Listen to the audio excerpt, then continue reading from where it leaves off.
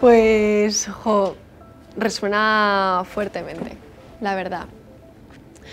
Cuando, cuando he visto la peli más de una vez me sigue creando el mismo impacto que cuando la vi por primera vez, porque es verdad que cuando hacemos o cuando interpretamos un personaje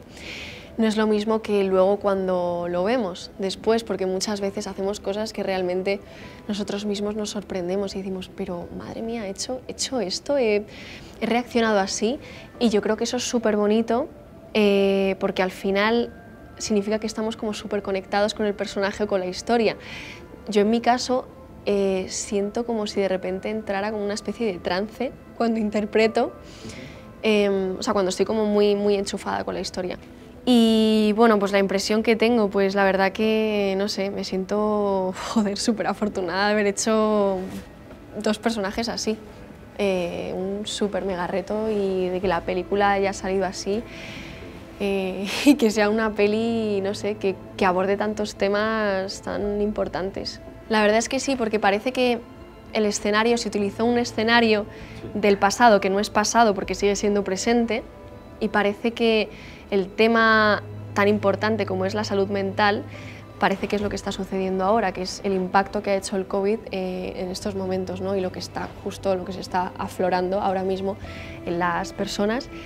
Y, sí, parece que aborda los dos temas, eso es así, sí. Yo creo que va a ser como un súper recordatorio. Sí, la parte de Internet, los peligros de las redes sociales, de cómo nos exponemos a las redes sociales,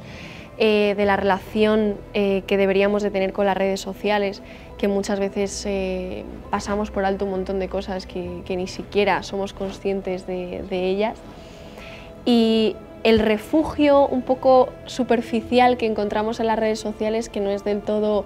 verdadero, porque al final lo verdadero reside en, en, lo real, que al final lo real es lo que podemos tocar, ver, sentir que evidentemente a través de una plataforma, claro, que puedes sentir, ver, eh, evidentemente, e incluso puedes conocer a personas maravillosas a través de las redes sociales, pero, pero hay veces que, pues, que no las sabemos manejar y estaría bien, pues, pues eso, como tener un poco más de conciencia a la hora de, de manejarlas. Ha sido un súper equipazo, o sea, no sé, o sea, yo creo que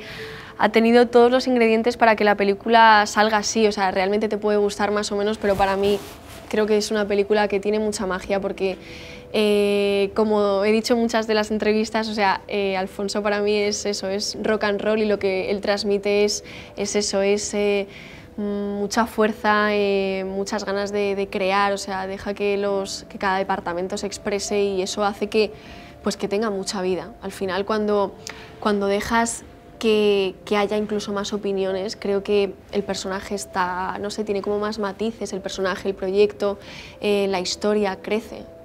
O sea, creo que es, es importante el que haya muchas más opiniones y que todos vayamos a una. De María he intentado poner nada, lo mínimo, solamente las ganas y la pasión, porque es lo que siempre intento poner, que es a mí lo que me mueve en esta profesión. Pero lo que acaso, si acaso lo que he querido poner ha sido eh, pues mi parte de cómo veía al personaje, eh, con Alfonso la parte un poco más física, porque es verdad que cuando yo leo un guion, pues ya sé más o menos, ya me imagino cómo es el personaje físicamente, entonces pues me inspiré en una, en una amiga mía, que es Alice Wonder, eh, que saca un tema en la peli y se llama Corazón Mármol, y para mí era una canción súper importante y de hecho se lo dije a Alfonso y le dije que, creo que era, hablaba mucho eh, en ese momento, o sea, creo que que fusionaba muy bien la canción con, la secuencia. Y bueno, pues, pues no sé, yo creo que todos hemos aportado mucho al proyecto. Lo primero de todo, hacer eh, un proyecto así eh, justo en una pandemia, eso es lo principal, porque al final pues no dejábamos de tener desconocimiento por parte de, todos, eh, aunque tomáramos todas las medidas necesarias para poder levantar un proyecto así. Eh, y luego también pues, eh, el reto de interpretar a dos personajes tan contradictorios y aparte pues, el tema súper importante que es la salud mental, la responsabilidad, que al fin y al cabo mm, yo intento no cargarme de más responsabilidad ni de más presión porque al final yo soy una persona que soy como muy autoexigente, entonces eso me juega poco de malas pasadas en ciertos momentos y en otros, pues bueno, eh, también me, me, hace ser como muy exigente conmigo misma, pero,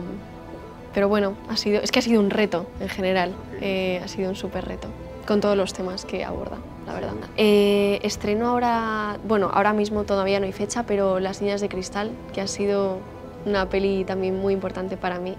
como esta, bueno, como todos los proyectos que he hecho, pero, pero sí, ha sido como cerrar una etapa de mi vida y ha sido la danza y bueno, pues ojalá que os guste también. Estas son las típicas frases que dices, Dios. vale, esas son las típicas frases que hay que pensar, vale, porque hay que ver ego. Eh, porque la verdad nos hace ser libres. Diego tiene mucha verdad. Y ahí me quedo. Ahí me planto.